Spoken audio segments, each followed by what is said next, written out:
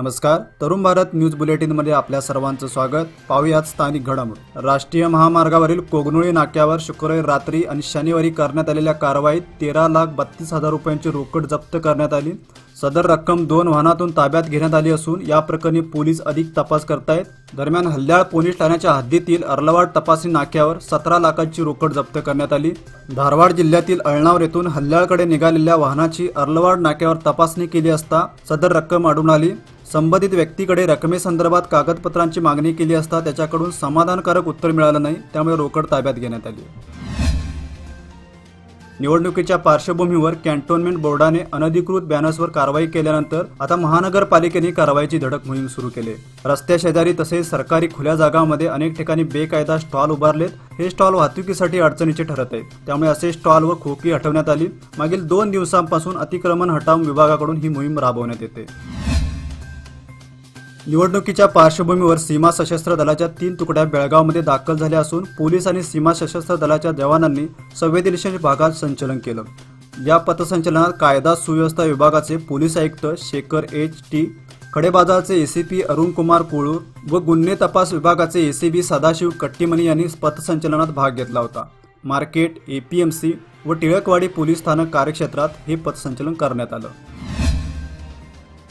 विधानसभेसाठी काँग्रेसच्या उमेदवारीची तिसरी यादी सोमवारनंतर जाहीर करण्यात येईल अशी माहिती केपीसीचे कार्याध्यक्ष आमदार सतीश जारकीहोळी यांनी बेळगावमध्ये आयोजित पत्रकार परिषदेत दिली. कित्तूर सौंदती व गोकाक मतदारसंघातील निर्माण झालेली नाराजी पक्षनेते त्यांच्याशी चर्चा करून दूर करतील तरीही त्यांनी बंडखोरीची भूमिका कायम ठेवली तर तो त्यांचा निर्णय असेल तसेच जे काँग्रेसशी एकनिष्ठ असतील ते आमच्यासोबत येतील अन्यथा निर्णय घेण्यास त्यांना स्वातंत्र्य असल्याचंही त्यांनी स्पष्ट केलं. होलसेल साडी व ड्रेस मटेरियलसाठी प्रसिद्ध असलेल्या बेळगावमधील नामांकित सुनील टेक्स्टाईल या शोरूमचं नार्वेकर गल्ली येथे स्थलांतर करण्यात आलं असून या नव्या वास्तूचं उद्घाटन आज खासदार मंगला अंगडी यांच्या हस्ते करण्यात आलं. यावेळी माजी आमदार संजय पाटील व बेळगाव परिसरातील विविध क्षेत्रातील मान्यवर उपस्थित होते. कापड दुकानदार तसेच घरगुती व्यावसायिकांसाठी होलसेल दरामध्ये साड्या व ड्रेस मटेरियल एकाच छताखाली उपलब्ध आहेत. तसेच प्रत्येक प्रकारच्या साड्या शोरूममध्ये उपलब्ध असल्याने व्यवसाय अजून भरारी घेईल. असा विश्वास कटारिया कुटुंबियांनी यावेळी व्यक्त केला. दरम्यान बेळगाव परिसरातील कापड व्यावसायिक उद्योजक व व्यापारी यांनी कटारिया कुटुंबियांना शुभेच्छा दिल्या. लोकमान्यच्या मुदत ठेव योजना म्हणजे सुयोग्य कालावधी सर्वोत्तम व्याजदर आता तुमच्या गुंतवणुकीवर मिळवा नऊ पॉईंट तीस टक्के परतावा. अधिक माहितीसाठी आजच कॉल करा. One eight double zero two one two four zero five zero. योजना फक्त सभासदान सभासदांकरता नियमवाटी लागू. लोकमान्य. जिथं पैसा वाढतो आणि नातं वृद्धिंगत होतं. ढोल ताशांच्या गजरात व भंडाऱ्याची मुक्त उधळण करत भाविकांनी सौंदती डोंगरावर दवना पौर्णिमेनिमित्त कंकणधारण यात्रा साजरी केली. कर्नाटक महाराष्ट्र केरळ व गोवा राज्यातील लाखो भाविकांचे श्रद्धास्थान असलेल्या सौंदती येथील श्री रेणुका देवीच्या दर्शनासाठी सुमारे दोन लाखाहून अधिक भाविकांनी गर्दी केली होती. दरम्यान यात्रेच्या पार्श्वभूमीवर धारवाड व बेळगाव परिवहन महामंडळाने विशेष बस सेवा सुरू केली होती. मुच्चंडी येथील श्री सिद्धेश्वर यात्रा भक्तिमय वातावरणात नुकताच संपन्न झाली. यात्रेत सिद्धेश्वराच्या जयघोषात इंगळ्यांचा कार्यक्रम पार पडला. दरम्यान परिसरातील हजारो भाविकांनी सिद्धेश्वराचं दर्शन घेतलं. तसेच देवस्थान कमिटीने यात्रेचं योग्य नियोजन केलं होतं.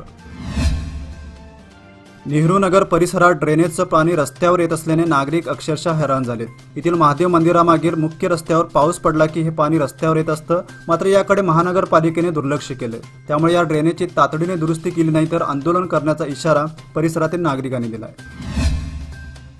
निप्पाणीसह परिसरातील ग्रामीण भागातील शेती व्यवसायात हरित क्रांती घडवण्यासाठी काळमावाडी करार पूरक ठरला. बारमाही पाण्याची सोय झाल्याने परिसरात शेतकऱ्यांना विकासाची दिशा प्राप्त झाली.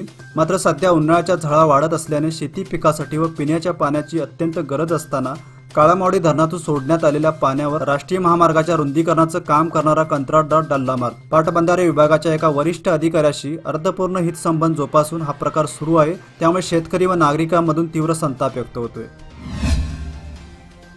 खानापूर तालुका महाराष्ट्र एकीकरण समितीच्या कार्यालयासमोरील फलकावर निवडणूक अधिकाऱ्याची वक्रदृष्टी पडले. अधिकाऱ्यांनी फलकाच्या आकाराचं कारण देत समिती कार्यालय फलक काढून टाकला. यामुळे समितीच्या कार्यकर्त्यांमधून व मराठी भाषिकांमधून तीव्र शब्दात नाराजी व्यक्त करण्यात येते.